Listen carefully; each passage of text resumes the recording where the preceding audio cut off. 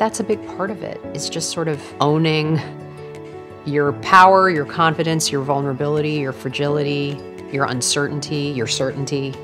Just owning it all and kind of not giving a shit anymore about who listens or who cares because somebody will and somebody does.